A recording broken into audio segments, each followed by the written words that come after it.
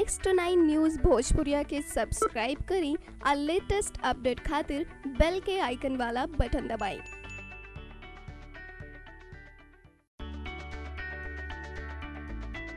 भोजपुरी के सुपरस्टार खेसारी लाल यादव की हाल ही में रिलीज़ हुई फ़िल्म दीवानापन सुपरहिट साबित हो रही है जिसे दर्शकों का खूब प्यार मिल रहा है। सबसे खास बात तो ये है कि खेसारी की फ़िल्म दीवानापन को खेसारी के साथ साथ उनके दोस्तों और फ़िल्म से जुड़े सभी स्टार कास्ट ने भी देखी। इसके अलावा खेसारी के इस फ़िल्म को खेसारी की बेटी कीर्ति ने भी देखा है। हालाँकि अभी तक खेसारी अपनी बेटी के साथ किसी फ़िल्म के प्रीमियर में नज़र नहीं आए थे, लेकिन कीर्ति घर में बैठे बैठे अपने पापा की ज़्यादातर फ़िल्में देख लेती थी। लेकिन फ़िल्म दीवानापन हाल ही में रिलीज़ हुई है तो ज़ाहिर सी बात है कि इस फ़िल्म को कीर्ति टीवी में या फ़ोन में नहीं देख पाई होंगी।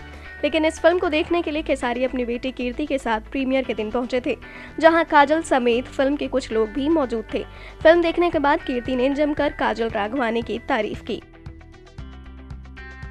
नेक्स्ट नाइन न्यूज़ भोजपुरिया की रिपोर्ट